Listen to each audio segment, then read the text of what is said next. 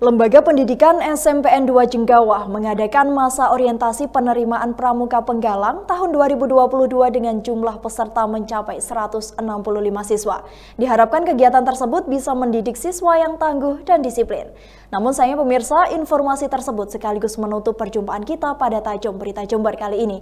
Dan untuk mengetahui informasi yang terjadi selama sepekan di Jember, sesaat lagi kami akan menghadirkan Tajam Sepekan untuk Anda.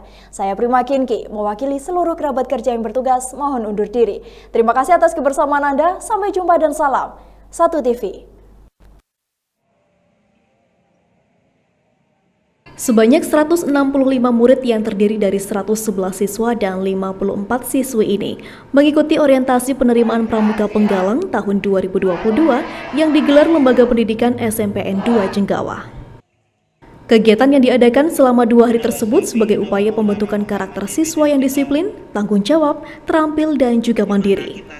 Menurut Rahmat Eko selaku Kepala SMPN 2 Jenggawa, kegiatan pramuka di sekolah ini bersifat wajib untuk diikuti oleh siswa kelas 1. Nanti malam akan dilaksanakan upacara api unggun, kemudian prosesi acara penerimaan penggalang sebagai anggota, materi pembinaan mental, kemudian dilanjutkan dengan baris berbaris. Saya mengharapkan nanti semua peserta didik itu dapat menerima semua materi ini, kemudian bisa menerima semua pembinaan mental, pembinaan moral, dan bisa mengaplikasikan dalam masyarakat.